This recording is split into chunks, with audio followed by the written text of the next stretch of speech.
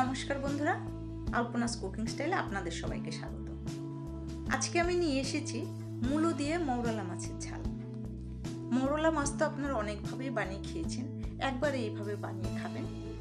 এটা আমার মায়ের হাতের স্পেশাল রান্না, যেটা আমার খুব পছন্দ।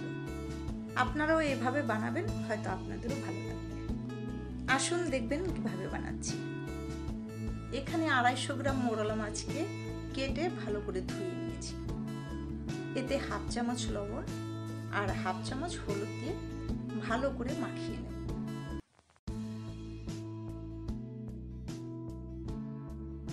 মাছটা মাখিয়ে নিলাম, এখন দশ মিনিট পর ভেজে নেব।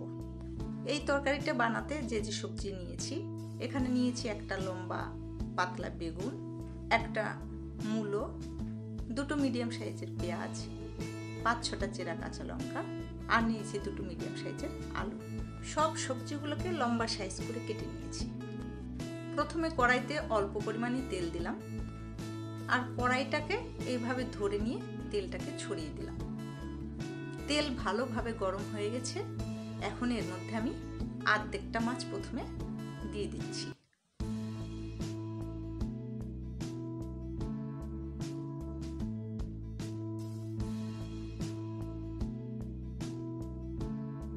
মাছের একটা সাইড ভাজা হয়ে গেছে, কিন্তু এত ছোট মাছ উল্টানো একটা একটা করে টাইম লাগবে। তাই আমি প্রথমে কড়াইটাকে ঝাঁকিয়ে নিচের দিকটা একটু আলগা করে নিলাম। তারপরে দেখুন মাছটাকে একটা সাইডে নিয়ে এইভাবে উল্টে দিলাম। আপনারা যারা এটা পারবেন না, তারা একটা একটা করে উল্টে নেবেন। কিন্তু এইভাবে উল্টাতে গেলে মাছে কিন্তু অল্প পরিমাণ তেল দিতে হবে, না হলে এই তেলটা গায়ে ছিটকে আসতে পারে। মাছটা ভাজা হয়ে গেছে, এখন আমি মাছগুলো অল্প অল্প করে তুলতে টাইম লাগবে, তাই আমি কড়াই ধরে নামিয়ে ঢেলে দিচ্ছি। সেকেন্ড ব্যাচটা কিন্তু আমি সেম প্রসেসেই ভেজে নেব।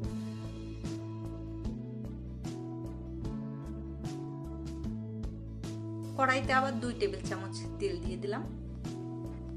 তেলটাকে আবারও কড়াই ঘুরিয়ে এভাবে ছড়িয়ে নিলাম। গরম তেলের মধ্যে দিয়ে দিলাম হাফ চামচ জিরে। জিরেটা ফুটে উঠেছে।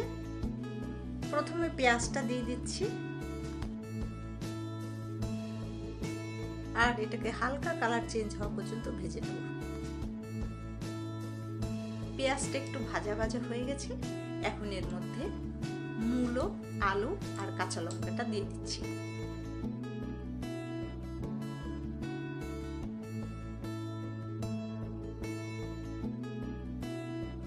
এই সবজিগুলোকে কিছুটা সময় ভেজে নেব।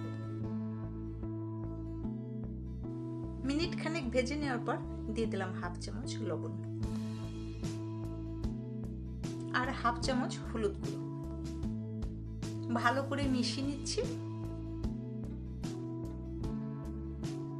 এখন দিয়ে দিচ্ছি বেগুনটা। আর বেগুনটা দিয়ে ভাজতে থাকব। আর অল্প একটু জল দিয়ে দিচ্ছি। এখন গ্যাসটাকে স্লো করে ভালো করে কষিয়ে নেব।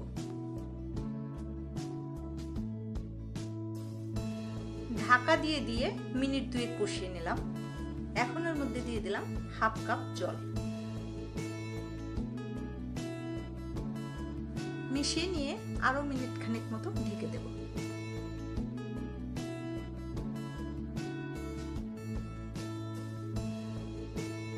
আলুটা মোটামুটি গলে গেছে। এখন এর মধ্যে মাছটা দিয়ে দিলাম। এখানে আমি সব মাছটা দিইনি, একদম ছোট মাছগুলো রেখে দিয়েছি। মাছটা তরকারির সঙ্গে ভালোভাবে মিশিয়ে দিলাম। তরকারিটা একটু শুকনো মতো লাগছে, তাই আমি আর তিন টেবিল চামচ মতো জল দিয়ে দিলাম। আর ঢাকা দিয়ে এক মিনিট মতো ফুটিয়ে নেব। গ্যাসটা কিন্তু স্লোতেই থাকবে।